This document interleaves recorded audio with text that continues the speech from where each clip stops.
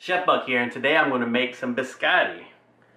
This is a coffee biscotti, and I do not recommend this if you're trying to lose weight. But are your taste buds happy? My taste buds are happy, but my waistline is not. This looks chocolate. You know, we have a chocolate biscotti recipe, and this looks very chocolatey, but it's actually coffee.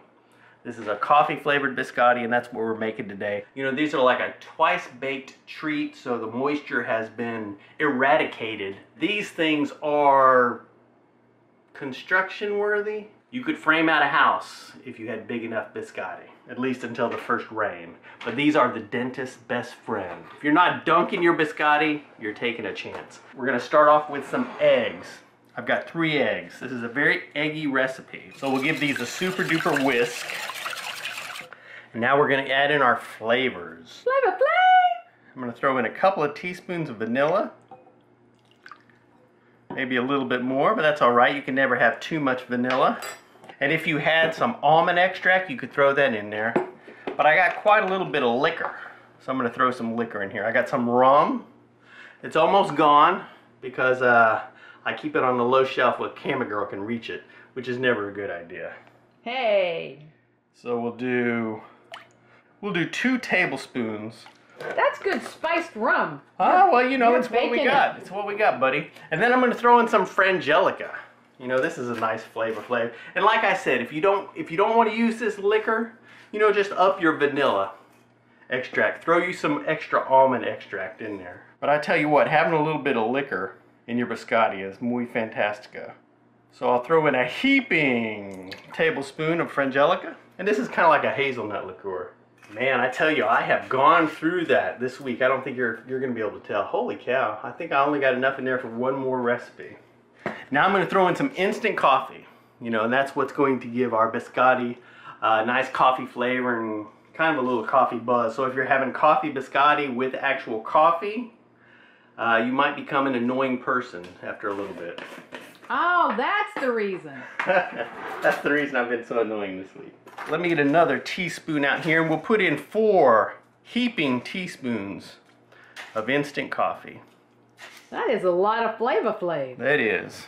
But we could even go a little bit more, Oh, just so that I'm extra annoying. Now we'll get this all mixed up. You want to give it a super duper whiskey whisk and try to get that coffee dissolved. So that's pretty mixed up, pretty smooth, pretty groovy smooth. So now the last thing I'm going to add to my wet ingredients is my sugar. And I'm just using some plain white sugar here. sugar, sugar, do do do do do do. So we've got it all nice and dissolved. So now we'll throw our dry ingredients together. I've got about two and a quarter cup of flour right here. And to that I'm going to add just a dibble dabble of salt. And then I got some baking powder. And I'm gonna do one teaspoon of baking powder. So now I'll take my dry ingredients and I'll just throw them in here with my wet ingredients all at once. You know, I don't have any kind of procedure. And now I'm gonna get it all mixed together. Are you going to be gentle with this batter? No, I'm just I'm just mixing away until it is all mixed together super duper well. In fact, once I get it to this consistency right here where it's a little bit lumpy, I'm gonna go ahead and throw in my nuts. And I've just got some toasted almond slivers. And even though we are baking this dish twice, these almonds have already been toasted. And you can use just almond slices or you can use these slivers. I prefer the slivers to the little thin slices of almond. The slivers give you more texture.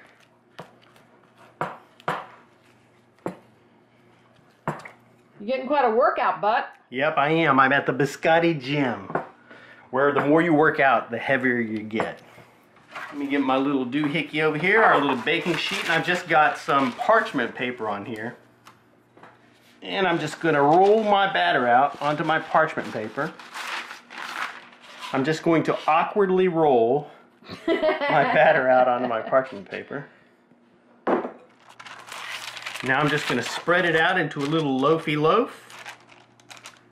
Now you could just put two cups of batter, two cups of flour into your batter and that will work as well. But then your batter will be a little more liquidy and it'll spread out a little thinner. But it'll still work. So there's my little biscotti loafy loaf. Now I've got my oven preheated at 350 degrees Fahrenheit.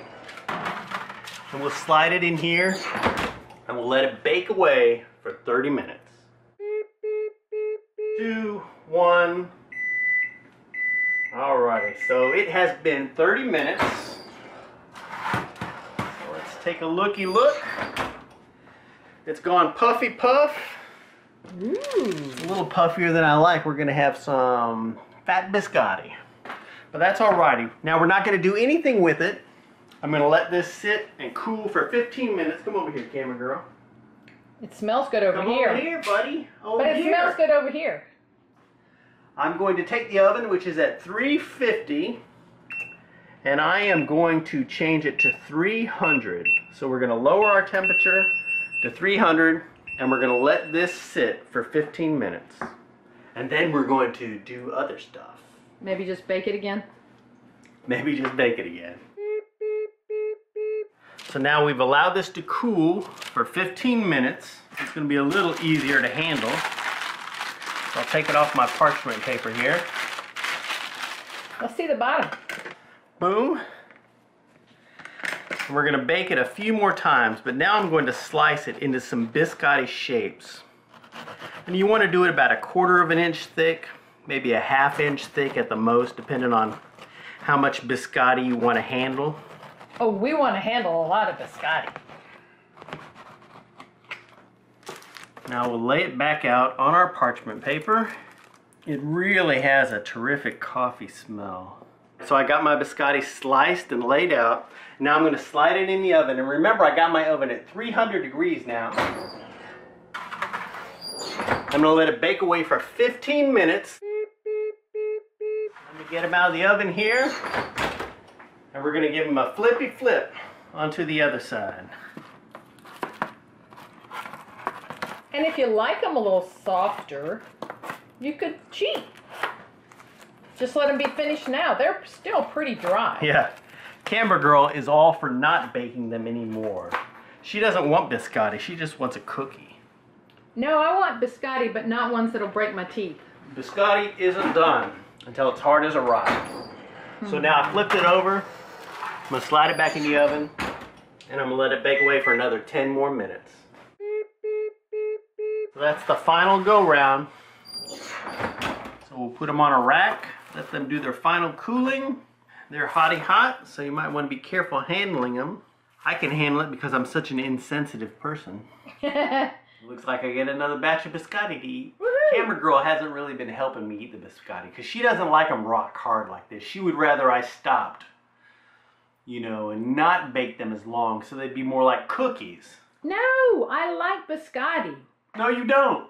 You No. don't like um, biscotti because you wouldn't be giving me a hard time for baking them so hard because biscotti is an Italian word that means go to the dentist. Learn something new every day, Yeah. or not.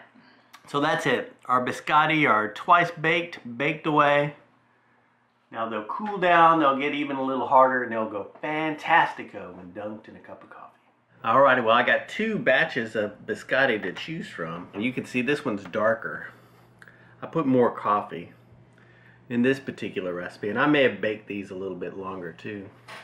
But these, when I got them out of the oven, they were so long, I had to cut them in half just to make them easier to store. But they're hard as a rock, and they're perfect for dunking. It's a good way to start the morning.